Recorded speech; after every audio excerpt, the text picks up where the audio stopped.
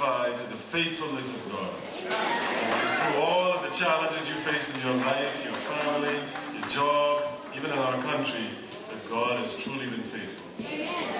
We're going to have our brother Van Fowler to come and minister to us in song and remind us of how faithful God has been to us. This song that he's going to sing is dedicated to all church leaders throughout the Bahamas, particularly those who are semi-retired or have recently retired from full-time ministry. In particular, Dr. Ed Allen, Dr. Charles Saunders, and Bishop Simeon Hall. Encourage you to remain faithful as our Lord is faithful. Brother Van Fowler.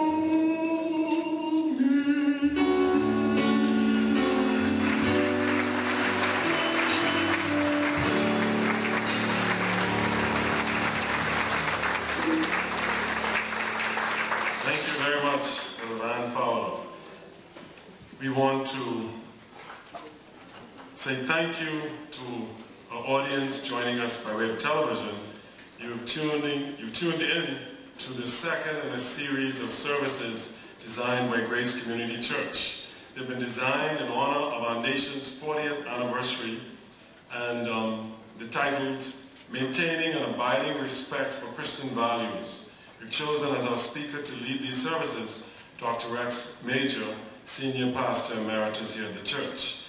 This second series today will address the issue of when not to feed the hungry. We encourage you and thank you for tuning in and encourage you to listen to the following Sundays. The service is entitled, Is Money a New Idol? And for the final Sunday, Capital Punishment, Vengeance or Justice. Thank you for tuning in and we pray that God will bless you. We have a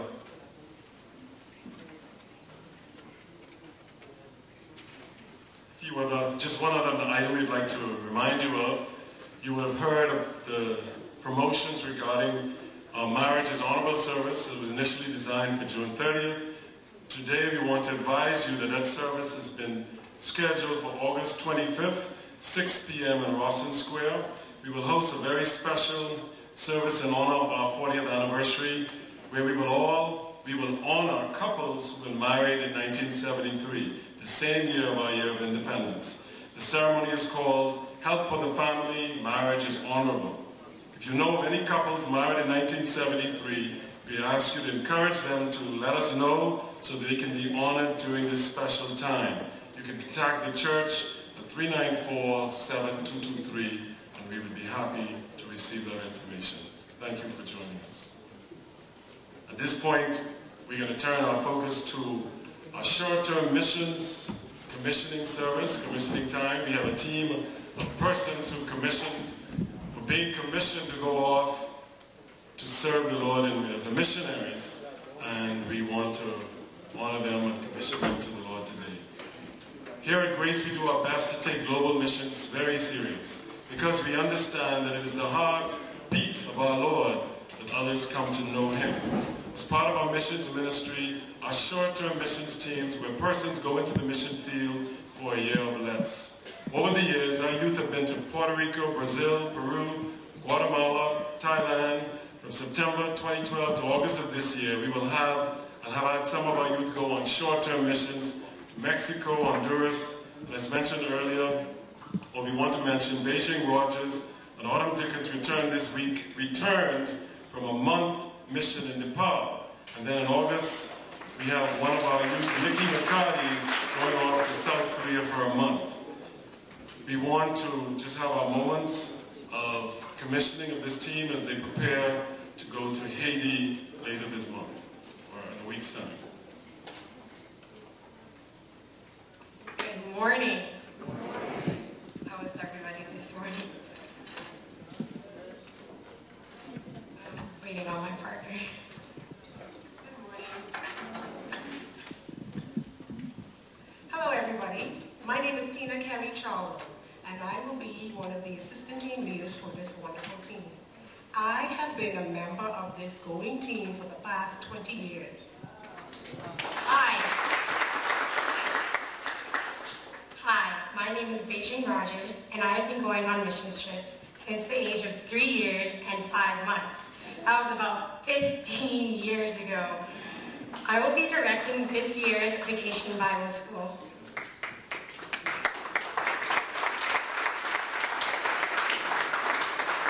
Our year is Touching the Heart of God. Grace Short Term's Missions Ministry will this year celebrate 24 years of sending teens in the missions field, and this year is our 29th year of the team that, sorry, and this year our team is, is a 2019 that Grace would have sent on a missions trip. Over the years, we have been to St. Martin and the Grenadines and the Dominican Republic numerous of times. St. Martin, Grenada, Nigeria, and North Carolina each once. And the majority of the years, we have ministered to numerous villages in Haiti.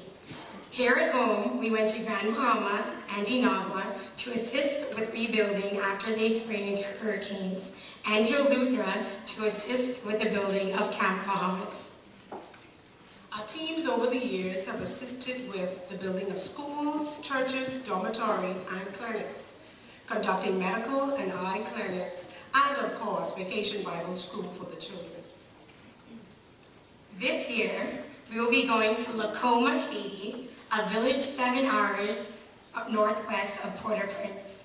We have a team of 26 persons that comprise of a mixture of children, teens, women, and men. Behind me in our yellow shirts, we have our senior pastor of this great church, Pastor Lyle Bethel, and his son Scotty. We also have an elder of our church, Elder Andy Knowles, a mother and son team of Carol and Jeremy Mishevich, sisters Beijing and Baja Rogers, brothers Brandon and Jaden Kemp, a brother and sister team of Tarek and Raven Kelly, Mr. Brian Russell, Andre Major Jr., Kaya Roll, Sinead Wilson, Chadero Seeley, Sian Fowler, Ayana Bethel, Jerry Mark, David Hanna, Ashley Adley, and our team's nurse who is a local Bahamian nurse here, but she's visiting her family just ahead of the team, and her name is Judy Ducatel. And then, on, none but least, our team leader, Miss June Major.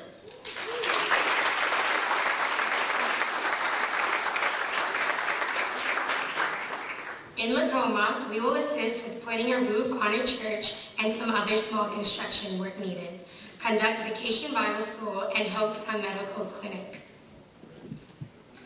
We ask for your prayers as we take this journey, um, being obedient to what our Lord has asked.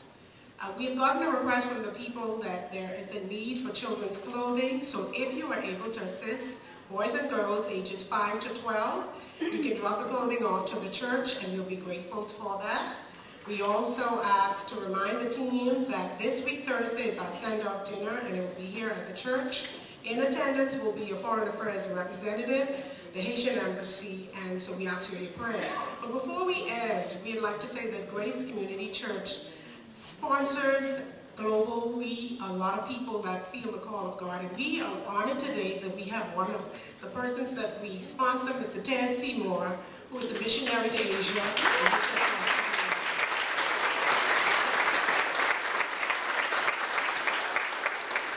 I want to say here, we had a theme, a, a, a theme a couple years ago that said some can give, some can go, and some can pray. You, we ask, pray and ask God to show you whether you're the praying, the giving, or the going person. Thank you.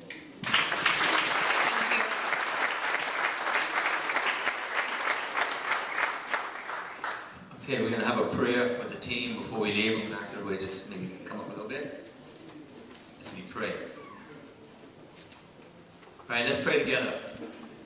Father, we know this day that this team here that you have raised up, that you put together, we know, Lord, that you don't make mistakes and you don't act by chance or luck, but you're sovereign and you've prepared each heart um, that you see standing before you today because you have a mission for us in Haiti. Lord, I ask three things as we leave as a team. First, Lord, I ask that you will give us your mercy, give us your protection, give us uh, traveling mercies as we go by air, on the road, a lot of traveling to do. We pray, Lord, that your angels will watch over us, that you will uh, help us to be strong and stand against the evil one and any things that he might throw at us.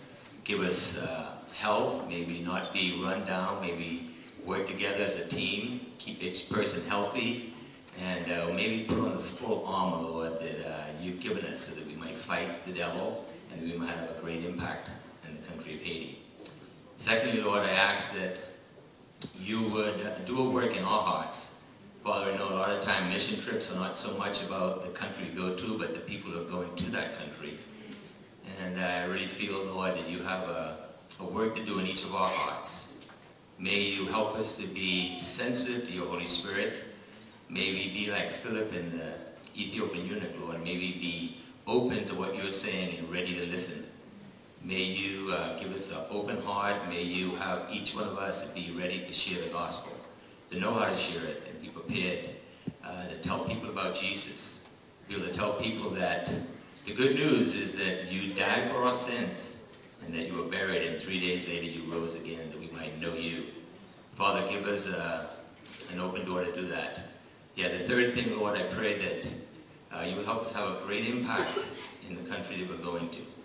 Pray that you'll give us receptive hearts. May people be open to hear the gospel. May they be open to receive it. May they come into a new relationship with you as a result of us being there. And uh, may you help us to um, meet new friends, get to know them, get to be friends with them, be able to pray with them, and most of all, Lord, to be able to tell them about Jesus. So I ask that you give us, give us uh, an open heart feel, Lord, that might be responsive to you.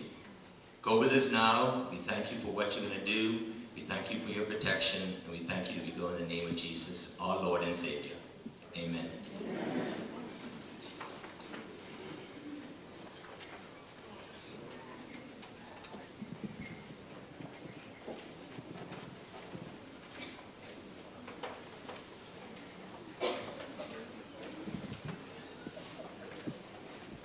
Give this team a hand as they prepare to leave. Early Saturday morning, they'll be on the plane on their way to the mission field. And they go with our prayers that God will keep them safe and they will achieve the goal. Amen? Amen. We now turn our time to worship through giving. We believe that all that we have belongs to the Lord and He's asked us to give a portion back. So I invite you as an audience to stand as we recite our offering covenant. It's printed in the bulletin for those of you visiting. Shall we recite together? Honor the Lord with your wealth, with the first fruits of all your substance. Then your barns will be filled to overflowing, and your vats will brim over with new wine. Carefully will be given to you, good measure, pressed down, shaken together, and running over, will be poured into your lap. For with the measure you use, it will be measured to you. Let's give thanks for it. Father, we thank you for all your many blessings. To us as individuals, as families, and as a nation, you provided for every single need, and we say thank you. And Lord, we recognize that we worship you through giving, and you've asked us to give a portion, and we want to do so cheerfully, willingly, and we want you to be honored by our giving today. Thank you. Bless the offering in Jesus' name. We're privileged to have our choir to come and minister to us in song at this point. The choir is directed by Avery Lightborn, Imana Fonseca, and today it is being directed by Miss Christy Colley. Their song is being dedicated to those who serve our country through in times of crisis. Particularly, we want to highlight the social outreach of um, privileges and ministries in the country, service organizations, and health organizations. Welcome, Just Grace.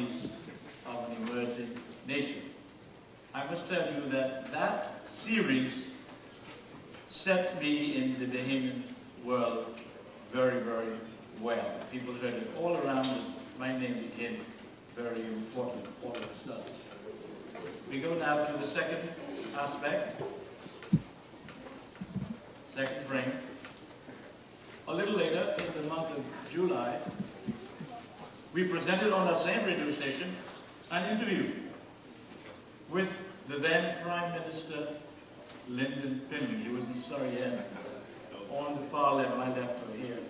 You can see him in, in the dark suit.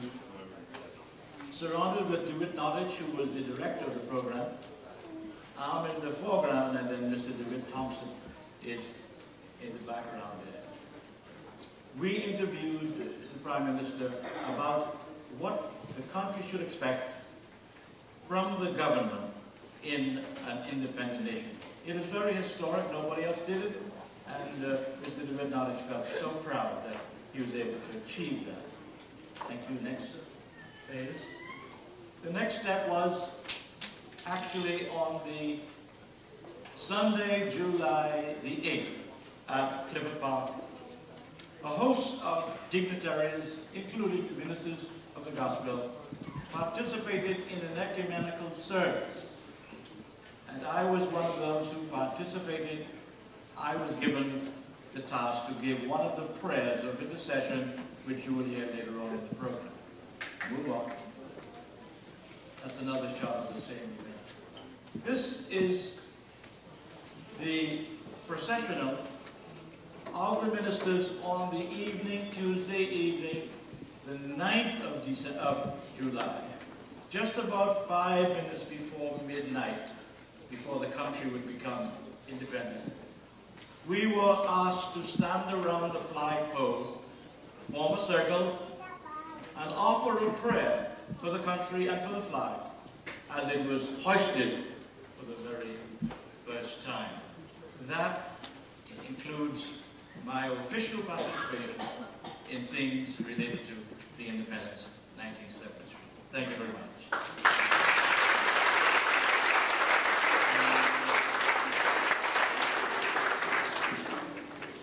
Much, Dr. Major. Of course, we've invited six of the young children here at Grace to come and share with us the prayer that was offered by Dr. Major back in 1973 on the occasion of the first National Ecumenical Service. I want to invite Denise Roy, a student from Nassau Christian Academy, Jerron and Justin Fowler, students of Carlton Francis Primary, Anna Wallace from Genesis Academy, Tajay Kuntma from Temple Christian Academy to come and share this prayer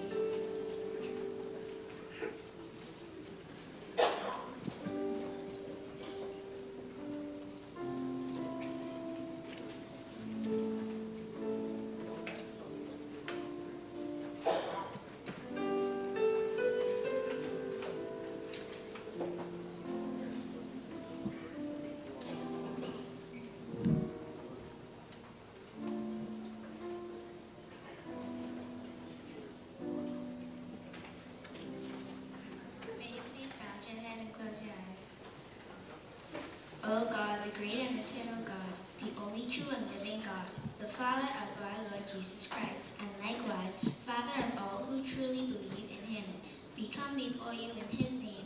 We are not worthy on our own merit to make approach to you, but through him we have boldness as we lift our hearts to you. We pray today on behalf of this new nation of people, people whom you have created, who bear in your image, and people for whose salvation you gave your Son on the cross of Calvary. We are praying, dear Father, that you will be merciful to us as a nation. For every single behemoth we call upon you. We pray for a spirit of humility to descend upon us.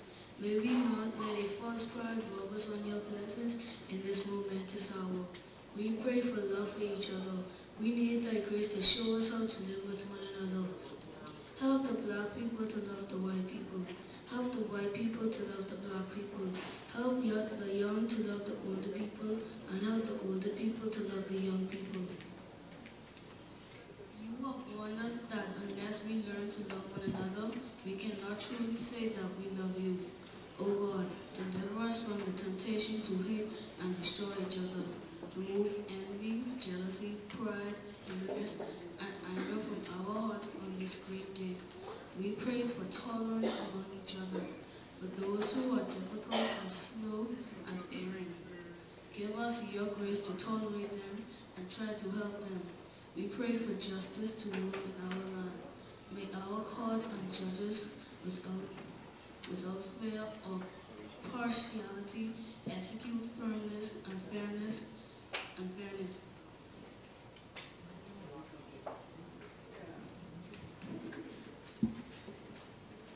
Pray for our We ask that you deliver them from selfish greed and personal power seeking.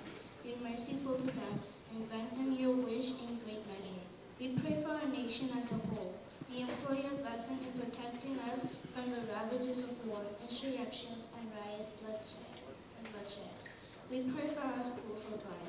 We ask you to give to our educators a true value of human life, a true reverence for those committed to their care.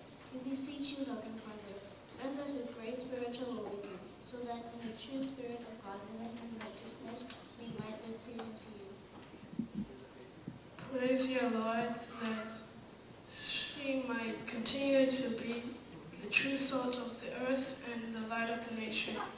We pray, O Father, that we might all remember that when this life is over, when we have acted our part on the stage of life, that we have to meet you face to face and give account to you for all we have done or left undone. To this end, dear God, bring us to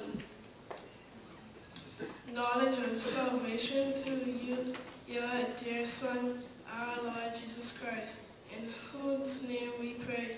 Amen.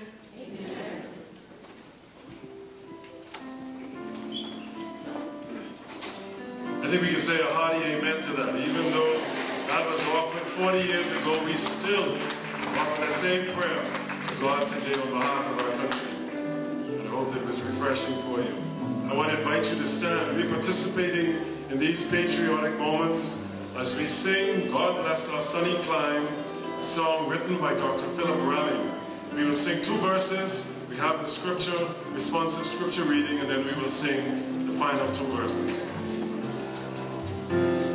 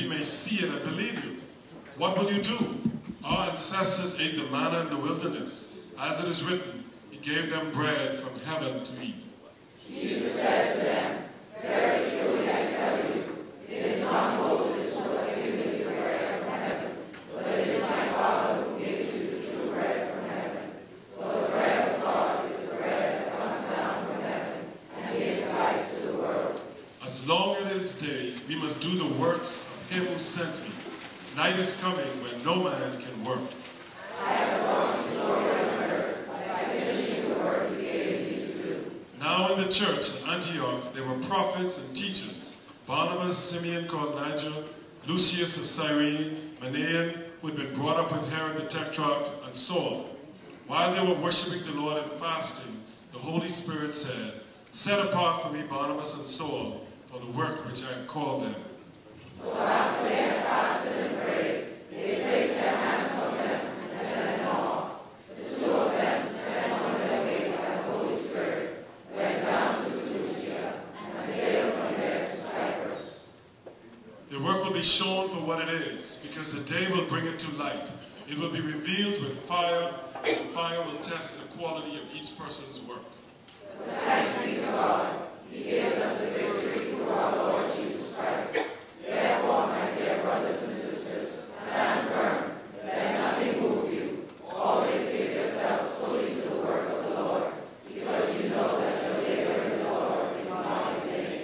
So Christ himself gave the apostles, the prophets, the evangelists, the pastors, and teachers to equip his people for works of service, so that the body of Christ may be built up.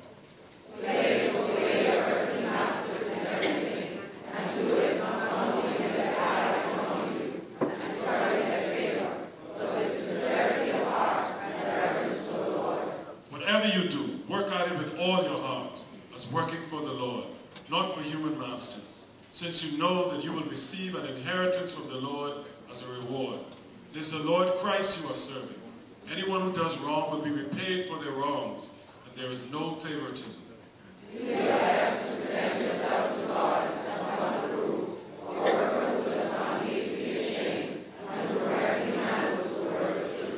But you keep your head in all situations, endure hardship, do the work of an evangelist, discharge all the duties of your ministry. Amen.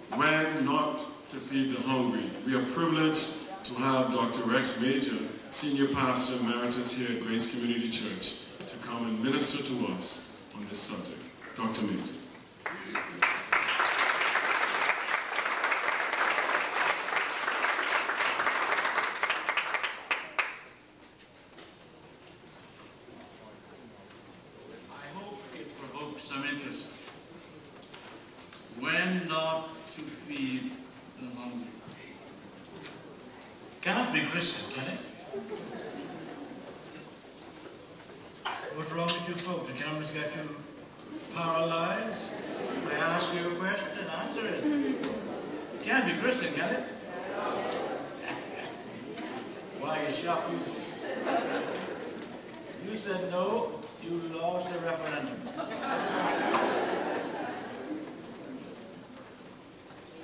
There's a scripture going to put on the screen this moment, which uh, we uh, will have it all, will we? Yes. 6 through 14. And um,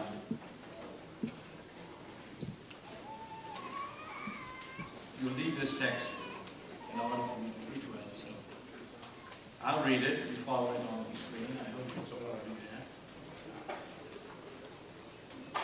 Paul is writing to a church in the city of Thessalonica some years ago. A new church that he himself brought into being uh, during his visit there with the preaching of the gospel. And it reads as follows with respect to the passage I need for my presentation. But just before I start the reading, may I be privileged to reiterate the welcome given especially to the Lalonde family. Very pleased to have all of you come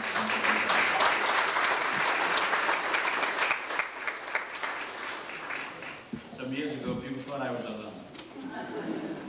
When I went to GHS and I had a good friend named Leslie and Charles. And outside there was a chap named Tex. We, we all knew each other very well. And now the reading. Second Thessalonians chapter 3, beginning with 6. Dr. Rami, listen carefully. In the name of the Lord Jesus Christ, we command you, brothers, to keep away from every brother who is idle and does not live according to the teaching you received from us. Seven.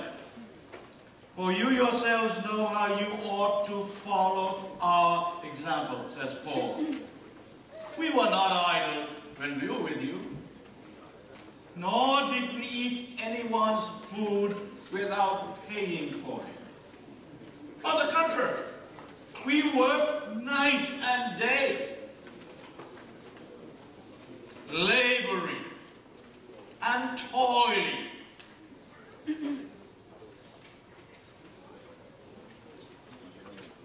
So that we would not be a burden to any of you. It's called independent. We did this not because we do not have the right to such help. In other words, we had the right to demand you pay us, but we gave it up for a reason. But in order make ourselves a model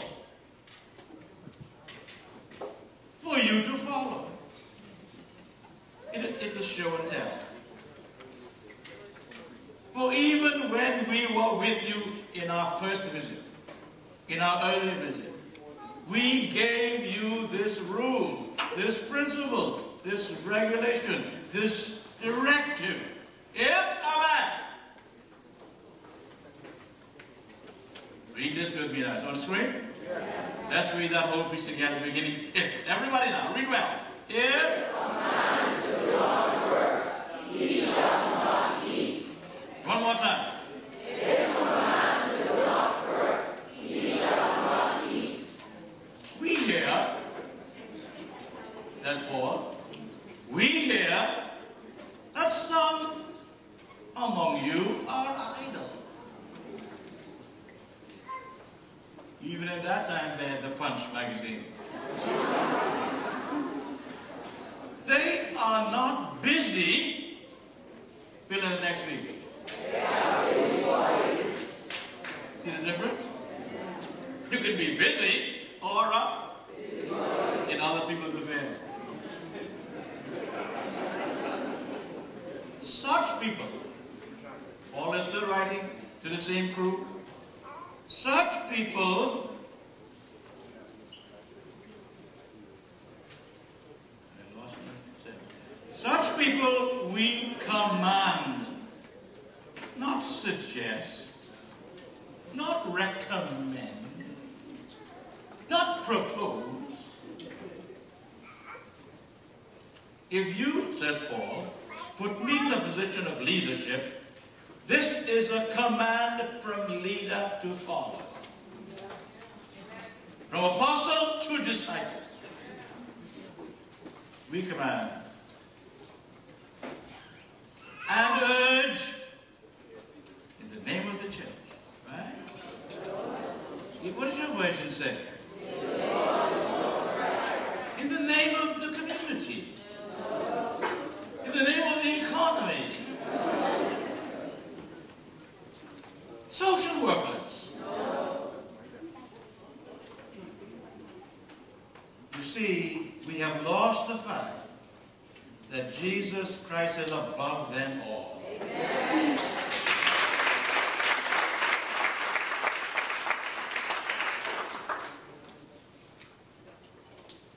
That, to, that they should settle down. Get settled. Get some order, not chaos. Some discipline. Remember what our preamble says, a commitment to self-discipline. That was the first one listed. Self-discipline, first one listed. Settle down and earn the bread they eat. Earn the bread they eat. Now you know I could preach for a week here, yeah? There's some sermons. There's a whole bunch of sermons. Right, Pastor Wilfred? Yes. By the way, you'll be my chief amen man, right? Okay. I, I pay well. You, brothers, never tire of doing what is right. Oh, my Father. Oh, that, that's Christian. That's what Christians do. What is right? After all, the word right is the first part of the word righteousness. And we brag about the fact that righteousness exalted a nation. Well, if righteousness exalts a nation, you have to do right for the righteousness to happen. If anyone does not obey our instruction in this letter, the Christian discipleship program is not a free-for-all. It's not if I choose to cooperate. It's not that ain't for me.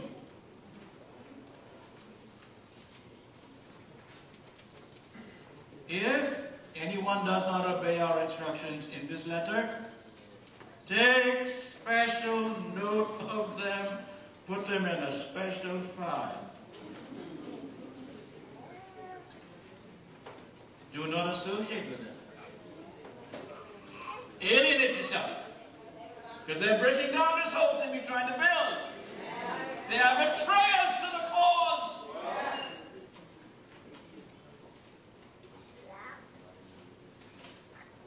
In order that he might feel ashamed. I wish we could get some more people ashamed.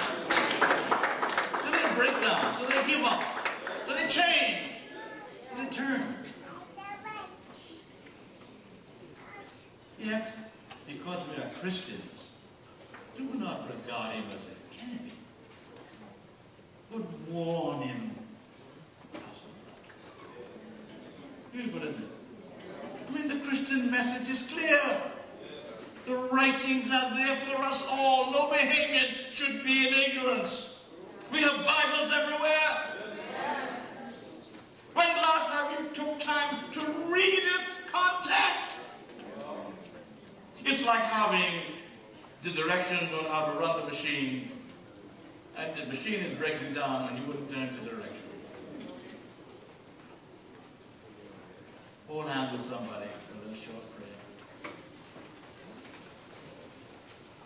Oh, Father, we're here in the presence to be directed by you and to be helped by you.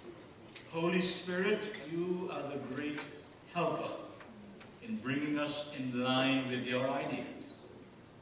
Please now, touch each of us, really. May no one escape the truthfulness and the significance of these words.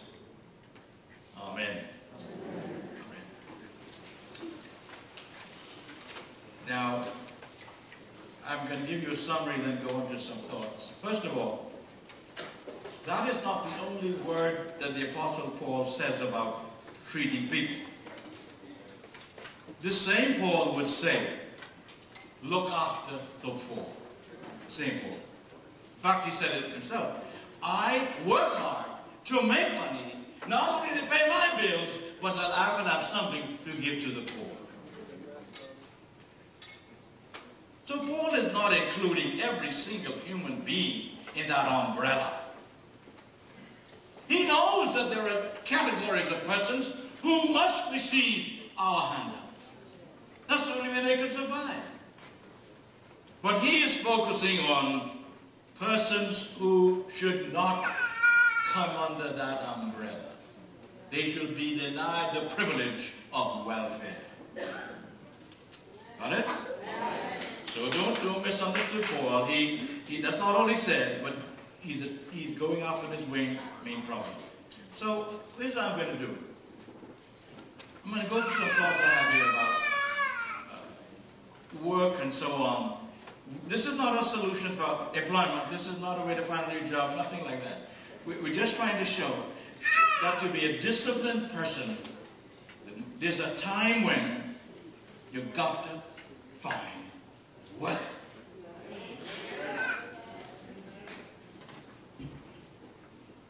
One of the reasons that the people adopted the attitude that they did was that they had a false idea that Jesus was soon coming.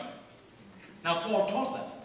In fact, the first letter is filled with that teaching, from beginning to an end, that Jesus Christ will soon return.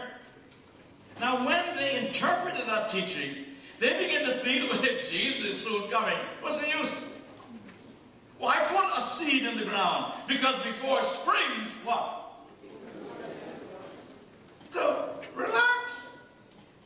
It's a pity how we could abuse biblical teachings to suit some of our narrow, selfish interpretations. Paul never meant to release them from any normal human duty by teaching them that Christ will be returning. The coming of Christ again does not diminish any human duty on earth in any measure. Don't use that to confuse your responsibility. If Christ is going to come tomorrow morning, and you knew it, whatever you are duty bound to do between now and tomorrow should still be done.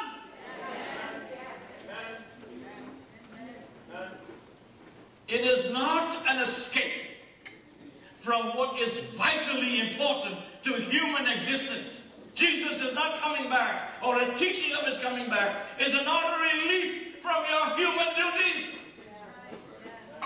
In fact, if you read it carefully, it calls you to an escalation of those duties. Do them better, do them right, because his coming will also be a moment when your works will be judged. So they use that understanding wrongly. The church's message through the Bible is that there is an explanation for work. The Bible makes it clear that work is the heritage of humans. If you're a human, you don't work. In the first place then, the church provides an explanation for the need of work, and that's what I will do in the next couple of minutes. The Bible makes it clear that work is the heritage of humans. It's not, as many people say and say too often, that it is the fruit of our sin. I'll show you that that's not true. What sin brought was that work would become a little more difficult to do. You'll get more opposition when you try to do it. Things will get in your way as you try to do it. But it doesn't in any measure diminish the fact that it must be done. Are you with me? Yes. Mr. Adley, where's that amen? You see, sin brought a judgment on man's involvement with work. Not that work itself was judged. Work was not the judgment. The judgment was that man himself will have a tough time getting the work done now that sin has come.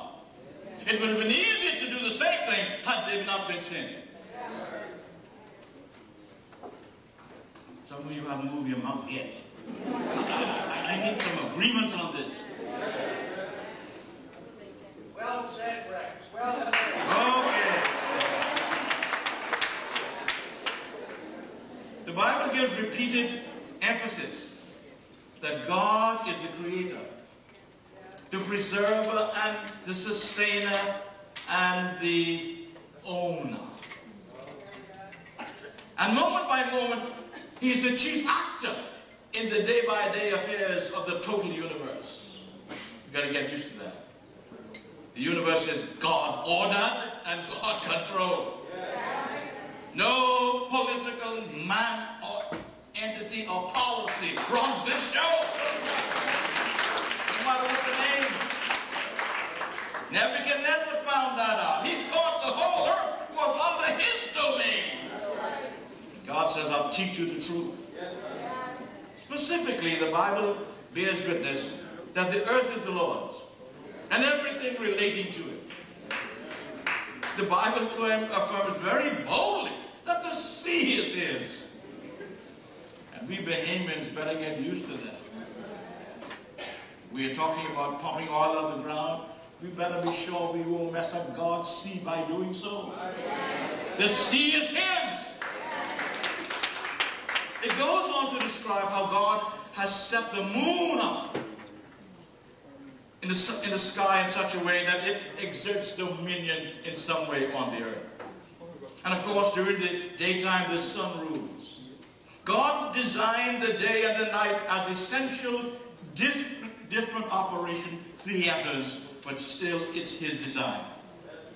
With all of this background then, the human creature was designed by God to be suited to live within the environment that God had pre-created for him. The man who we, who we bring forth was fitted to what God had already outfitted before he came. You understand that? Now that's, that's a study in itself, but no time. Just bear in mind, God set every single thing in place before he brought the acme of his creation, the human being. Everything was in place. Nothing came after except, I do know, the rib occasion. The Bible's abundant evidence makes it perfectly clear that because the earth and its environment were made before man was made, the earth was made ready for man's entrance on the scene. Unless this creation preparation was in place, it would have been out of order to bring the man into uh, the operation all the raw material by which God's human creation would be able to fulfill perfectly what God had in mind was already in place before the man arrived. Every single thing. Adam named animals that were already in full function. Adam didn't give them function. You named them. They were functioning well in the independent existence and all of them mature and complete in every detail for their intended divine purpose. And so Adam himself was so designed by God that he could do more than animals. He's another level now. He could name the animals and have dominion of the animals. He could eat some of them if he wanted to. He is human. He's above it all. He could give them names and allocate them. There was no confusion in God's creation. Everything was in order. Absolute order. Each individual animal species could be distinguished by itself. There was no uh, mix up between the giraffe and the hippopotamus. Separate. All creepy things and feathered creatures and the fish variety all in their proper place. There was divine order. Yet in that completed order and design, God made the man with the capacity to give some form of new shape and direction to that creation. God purposely left the garden in such a prepared state that it needed the Adam's supervisory activity for it to become what God wanted it to be. Are you there? Even with a created perfect order. God so had his perfect order created that it needed the man to come and redirect certain elements. Amen.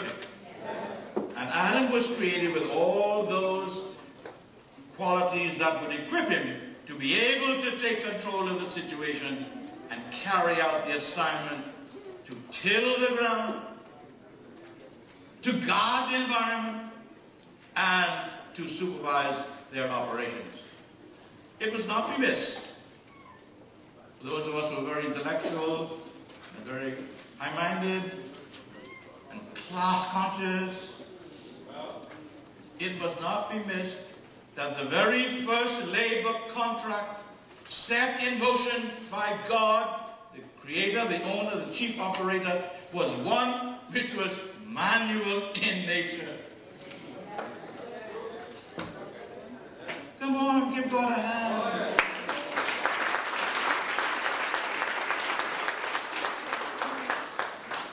The first need of man's exertion of energy was manual labor. Till the ground, prune the trees. But notice when sin came, it toppled it. And everybody now thinks manual labor. Oh my God. What have I come to? Go back to the Bible and get your mind cleared up. There was nothing evil because there was no sin yet. When Adam put the first spade in the ground, it, there was no sin anywhere.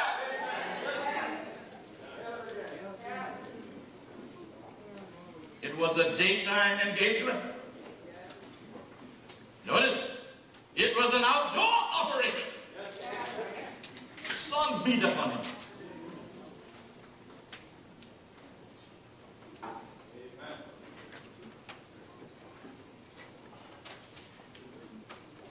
If you search the record very carefully, you'll also notice something very strange. You will discover that there is no mention of any promise or remuneration for anything he did. Adam's work for God was not for pay.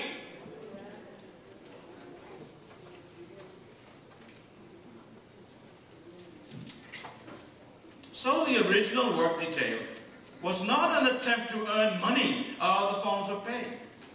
Work in the very earliest experience of man was mainly a natural outworking of who he was. To be man, he must work. That's his fulfillment of his true nature.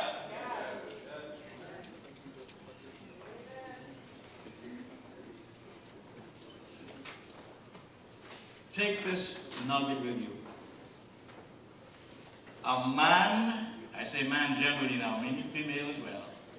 A man, woman, who is out of shape according to work is out of shape. Full stop.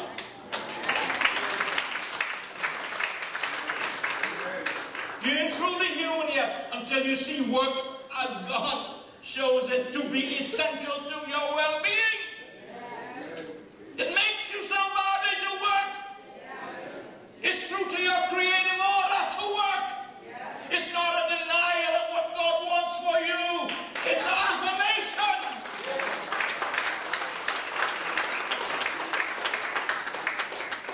It was a part of their whole.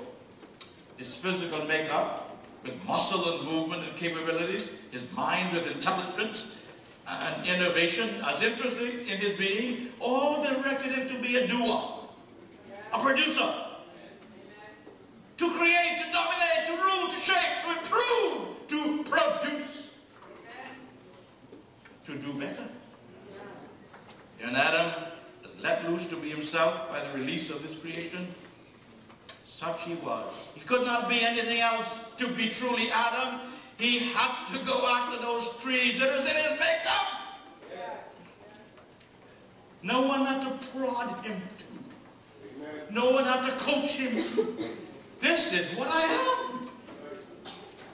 just as it was natural to him when he had the first sight of Eve. No one said to him, boy, get close. No one said to him, come on. No, no. It was natural to him. He actually moved toward this girl and actually said, no, this is bone of my bones and flesh of my flesh. Came out of him. It was built into his creation order. We are fighting God's creation order. You can lose. There's a rebellion against what God has ordered, what God has ordained, what God has shaped. You can't get along well by denying what God has shaped and what God has ordered. You are going to suffer.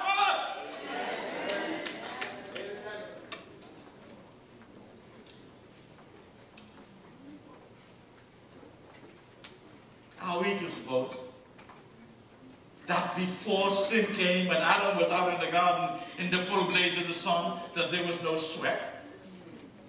What do you think? Hmm? Of course, it's only natural. Woo, it's hot. The sun's rays didn't get any less hot because of sin. The sun was sun. You need a shade because the sun is sun. Not because it's sin.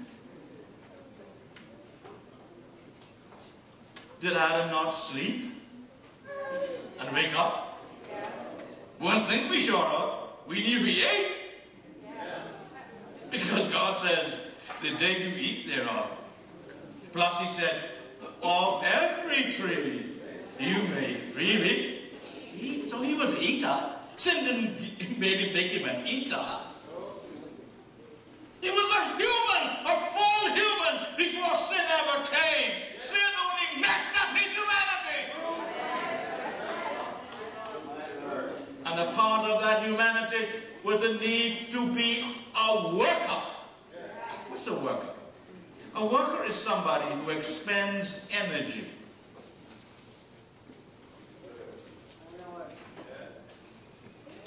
What I see in this town is not work. It's shirk. Do you know in some places, do you know in some places, people sign a book and go about their own private business? And they get full pay? As though they went to work? And they have complicit persons doing it for them on the inside? You know what they call themselves? Smart. Child, I know how not to work. Oh, what a curse they are in. Working is wonderful. It releases your true identity inside of you. It gives you chances for those kind of characteristics God has created in you to come forth, to be something, to blossom. Amen.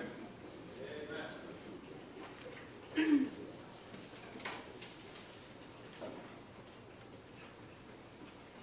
Biblical emphasis, if we would conclude that because they were eaters that the eventual curse fell on them. Not really, it's because they disobeyed, not because they were eaters. The normal digestive system was in operation before the fall. It's a man on the ground. Limitations. Use the toilet too, you know.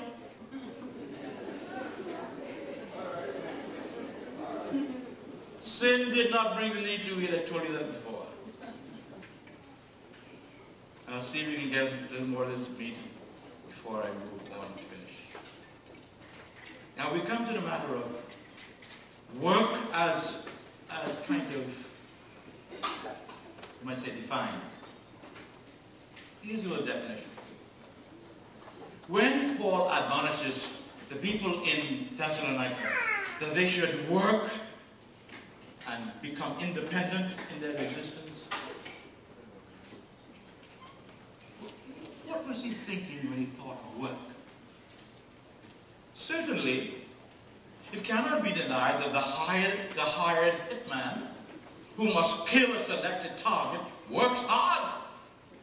to set up the exact time, the place and the occasion when his heinous job could be done well. Don't you agree? Someone would work hard. But such work, despite the amount of brain or brawn that came out of the effort, cannot be the category of work which the gospel of Jesus Christ endorses. Can it? No. Brother Wayne, can it? No, sir. Listen carefully now because I'm getting some sticky ground. During our infamous commission of inquiry into the transshipment of illegal drugs throughout these Bahama Islands, strong verifiable evidence was brought out to show the thousands of Bahamians worked in that evil industry. And they received pay for services rendered. Do you think that's the kind of work Paul is exhorting the Thessalonians to get involved in? There were people who were taxi drivers, truck drivers, boat captains and crew, aircraft pilots and crew, just to name a few. And the report stated especially lawyers and parliamentarians. They all were working.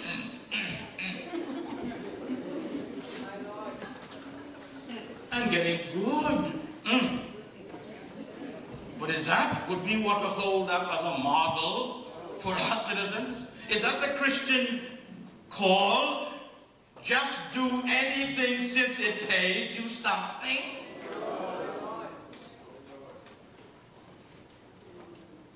But despite the large income so accrued, no sane or sacred person would consider that that type of work would bring honor to God or truly bless men. Now you must bear in mind that there's some things happening now. For instance, smuggling of human persons. Hmm? Catching crawfish out of season. Oh, you sell it, get a big lumber, but that's not the kind of work we want, right? Come on, help me now. We don't want workers catching the crawfish out of season, right? Even though it's work, even though you get paid. We don't want them catching crawfish that are undersized either, do we? It's work. You go down, dive them up, dig. You worked. And you sold them to somebody who was complicit with you, and you got paid. But is that the work you want? The point I'm making now is, as you digest the call to work, you must also interpret what God intends your work image to be like. You know the oldest work in the universe, right? It's called prostitution. Now, we've been very silent on it lately. But it's rampant in the society. And there's some people who own them and collect the big sums. But that's not the kind of work we're asking for or promoting. So let it be made known very early. Not every activity which employs a person and pays even a fair wage for energies expended would get the blessing of the Word of God or the people who are submitted to that Word.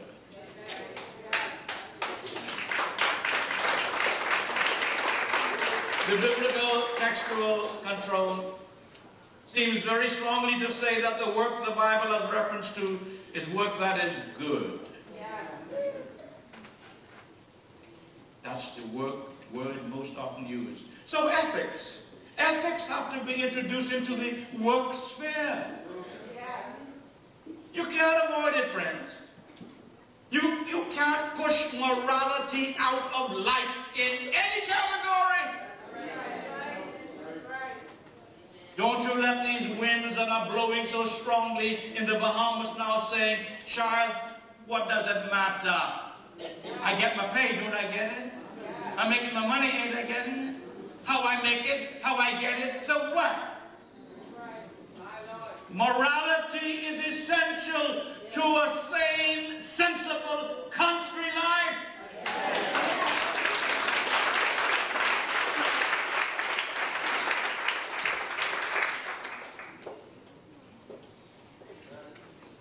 And do not be deceived here because someone doles out cash very liberally for some charity or charities from the profits earned from immoral activity. Such charitable transactions do not baptize that activity into goodness.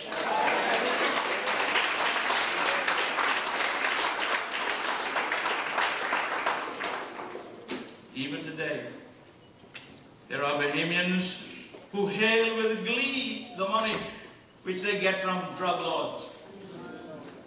And even though that money improved their house, improved the roof, gave them a beautiful outside color, got furniture to make them more comfortable, and brought what we say normally is a blessing.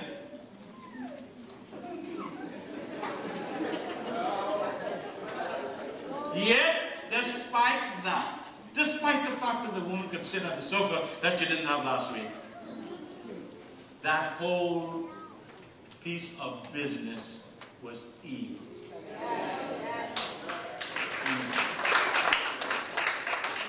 There are those who are angry when the drug lords are captured and charged in court. He is our sugar daddy.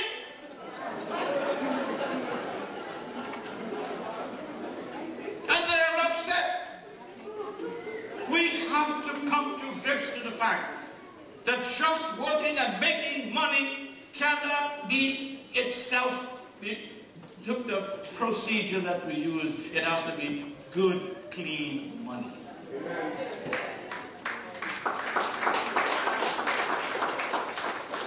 Such a thing as ill-gotten wealth.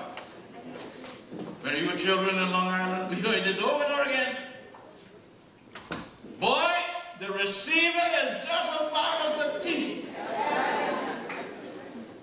Over and over. Listen, son. You might not have been there, but if you took it from him, you're just as bad. Amen. It's called collaboration with evil.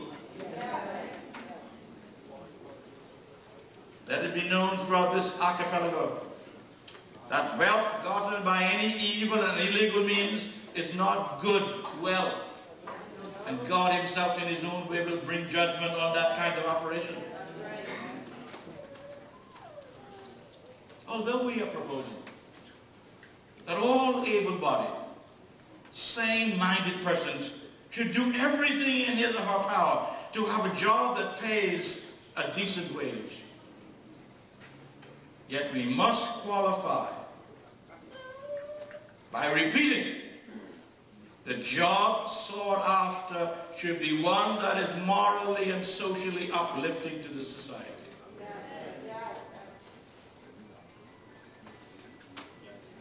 A job that honors God is more than a means for a paycheck. Some years ago, some government structures to have this sign said, no free riders. That's a sign that the Christian message could easily borrow. No free riders.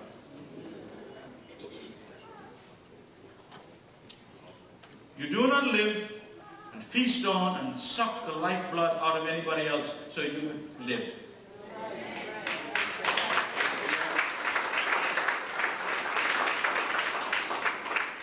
Now we could translate this from the lazy, lousy person to the greedy landlord who doesn't care how the house is or the room is, but you pay his rent.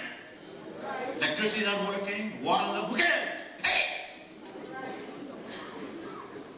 I'll talk about that when we do the money one. That's coming up next week. That's going to be a time. Is money our new God? Oh boy. Don't miss it.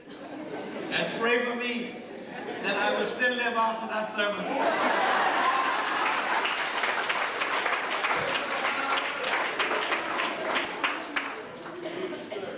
How tragic, how tragic is the ugly truth.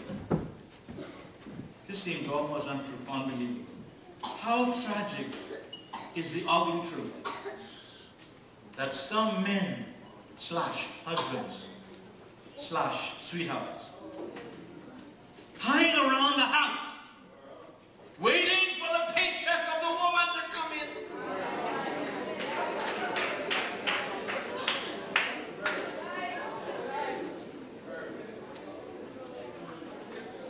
That paycheck maintains the house and all the bills.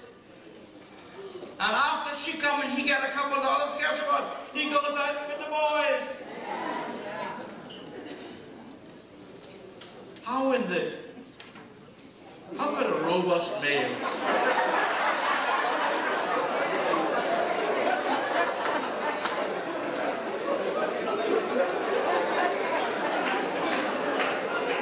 How could a robust male call himself a man? With no disability. Except a disease called laziness.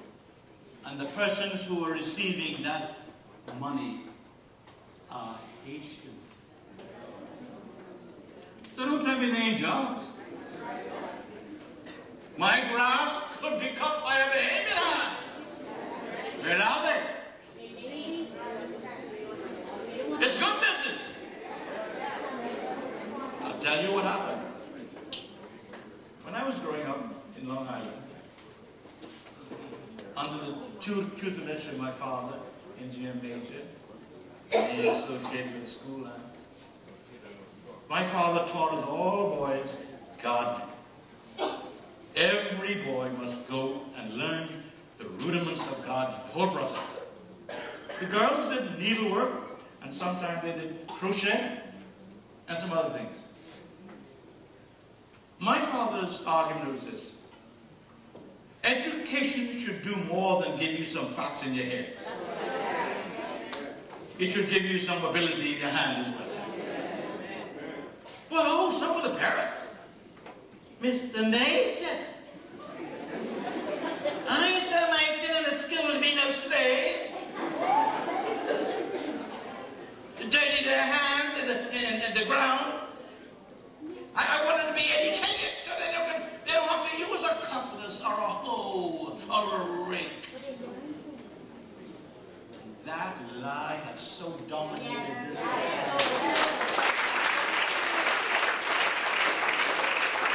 I want my child to be educated so they don't have to work hard.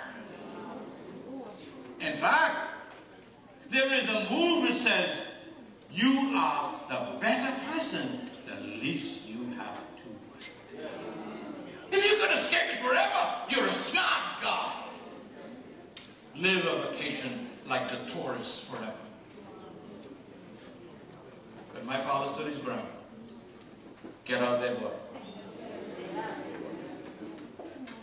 Here's what he said. I deduced from looking around my environment that the average boy will not move from where he now lives. Very few will get a scholarship to go to the government high school or any of the other high schools in Nassau. But at least he still has property, he has land, he has space. So if he can approve the use of his land and earn some food every week, at least he could live comfortably and independently.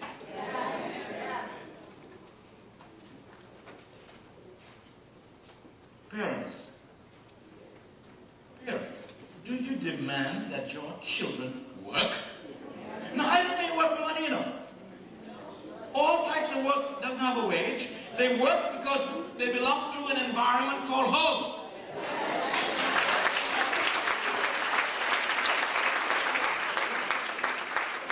They have an obligation to contribute to the welfare of that little community called home. They're a citizen first, there, before anywhere else. They're a citizen there. They must hold their own. And you parents who spoil them to death, who believe that you'll give me the, oh, a wonderful life. That's all right, child, I did that. You are, you are destroying your child.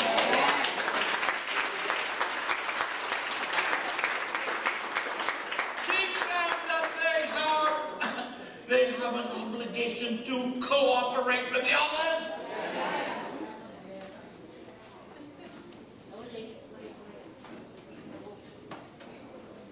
So Paul said to the new Christians in Thessalonica, here is my teaching as a leader, as a Jesus Christ person. If members in that group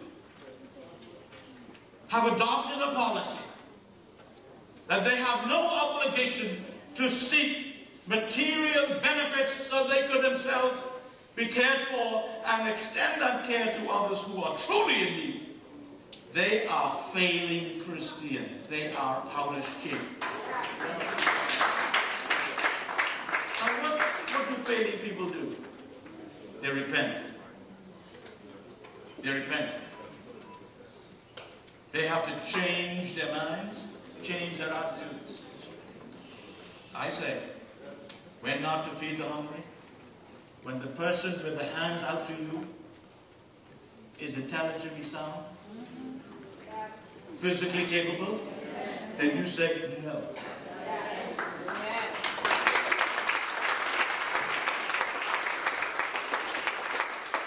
Now, you could have certain modifications because of a car accident. Yeah, I mean, after all, but it cannot do anything now, right? But, but begin to hold people responsible for being men and women. Hold them responsible. And by the way, if the work is not up to par, tell them so. Unless you've improved, you're going home. You got to improve that one job. And stop getting in 9.15 and signing the book for 9. Stop cheating us. It's a call for a true, sensible citizenry called Bahamians, who, who, are, who have at first self-discipline, then industry, and who have a respect for true Christian values. May God bless you all.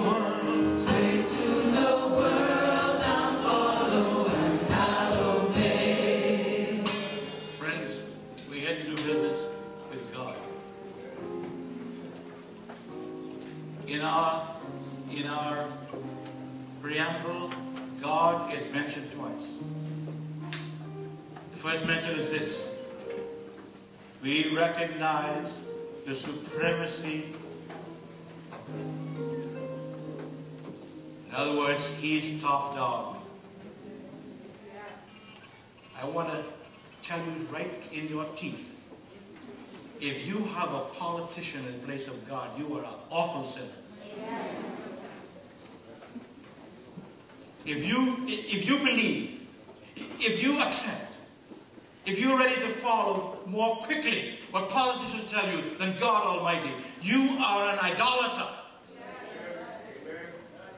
We are suffering terribly in this society. Politicians are the new gods of everything. I'm sick and tired of seeing them on television. Every five minutes. Like nobody else on earth. Listen. When it's all over, now listen carefully. Listen. When it's all over, you will not deal with Perry Christie, Ewan Ingraham, or Ingraham. You ain't to see them nowhere around. When it's all over, you deal with God. Your life will be under his scrutiny. You must stand before him and answer to your life in this city. What you did with your time, what you did with your talents, what you did with your tithes, how you made this country righteous or evil, you will be judged by God. Because he is supreme. The party is not supreme. The parliament is not supreme. God alone. Your question should always be, does my life please God? Where does God fit? Now these are moments when you could come here and stand and say, oh God, I, I, I need some help. I, I, do want to be more like what you want me to be. Start coming now, friends, your prayer time. God, I want to be more like you want me to be. Come now. Sing to the word, I'll follow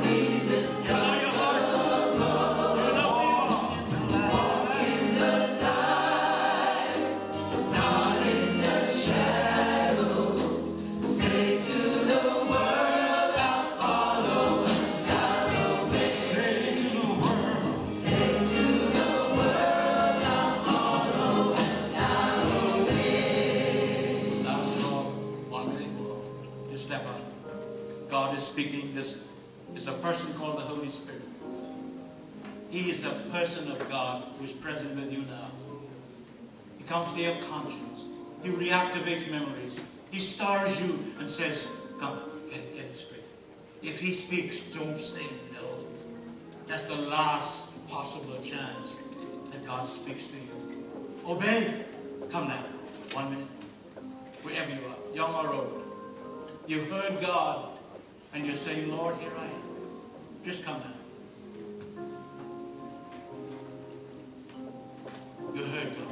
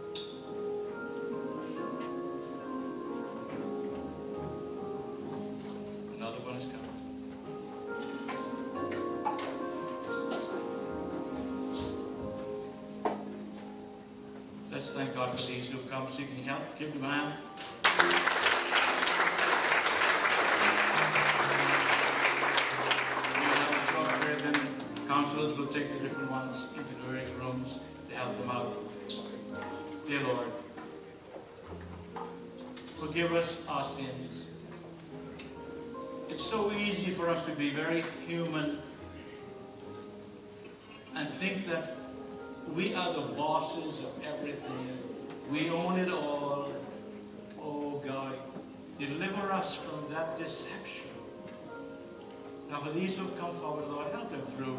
Give the counsel wisdom.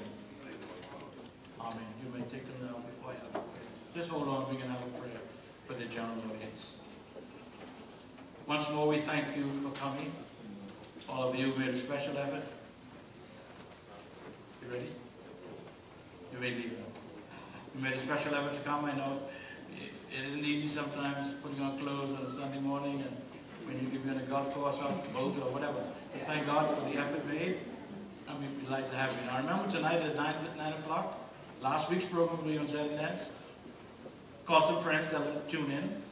And next week we would like to be able to bring our chairs. Will each of you bring five people tomorrow? Excellent. Five. Your neighbor, your family, your friends, people at work. Call for chairs next week. And all of you here today, come again. Bring some flowers. That's how I pray.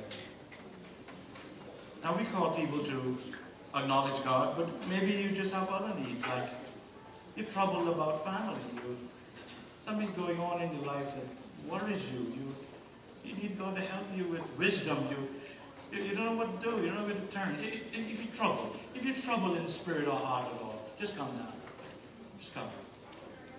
Pastor Rex, remember me prayer. I, I need God to help.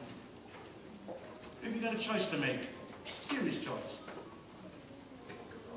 Oh, and, and you want God to touch you. This is your time. Maybe you're deciding who to marry, that's a big question. You're deciding what job to take.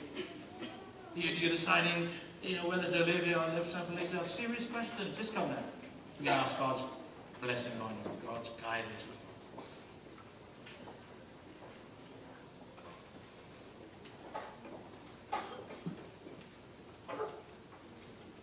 Your last call will be somebody who deep down in your heart you want to come forward just to say thank you, God.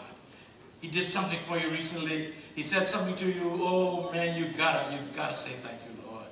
You want to say thank you, oh God, thank you. Look what you did. Look at the way you made for me. And the dark, the road was dark, and dreary, and I didn't know where to turn. And look what you did for me, Lord. Come now. You, you'll be saved.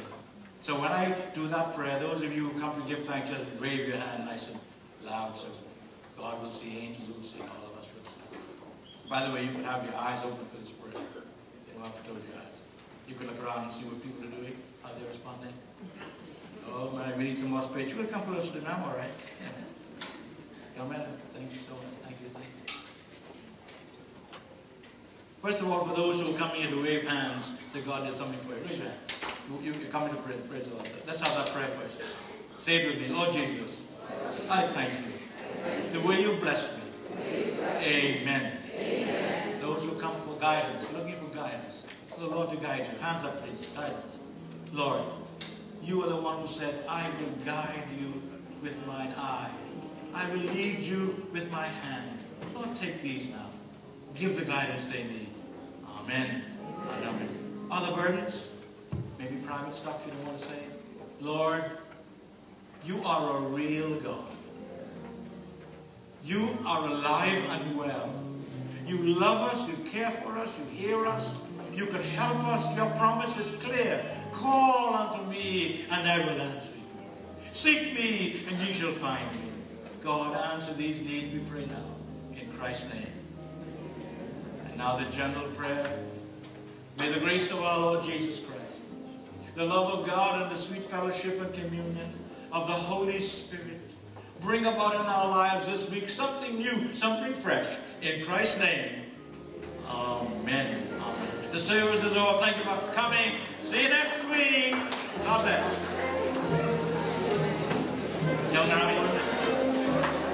Just before we, we dismiss, I want you to join with me as we recognize the presence of Mrs. Lilith Adderley.